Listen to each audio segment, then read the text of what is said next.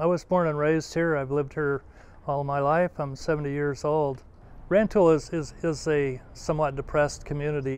Uh, growing up in Rantoul was, I would say it's it's easy going as long as you hang out with the right people. There's a lot of a lot of ways to get yourself in trouble here because there's really nothing to do besides get in trouble. The truth is, I don't know what's about this town, but people like being here. I personally like it because it's a peaceful town. In 1854, the, uh, the railroad came through, and um, that's really when Rantoul started to grow.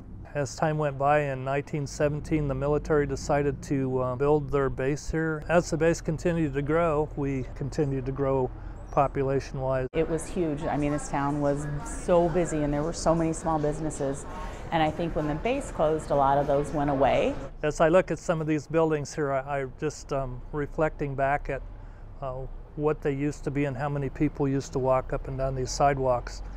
It was just a Americana at its best. When the base closed, the, the general population here felt like it was a punch in the stomach. The population went from 27.6 at a high down to um, about 12,000. A lot of the businesses um, had to close immediately. It's always been the same. Like there's barely anything that comes around to Rantoul besides new people. You know, when you take away some of the smaller family owned businesses, I think we're the ones that suffered too. A pork processing company opened, and many Hispanics began migrating here. There weren't many before. I think people are really invested in bringing Rantoul back. I think that with more people coming, there will be more business and the town will continue to grow. And I hope it grows for the better, not for worse.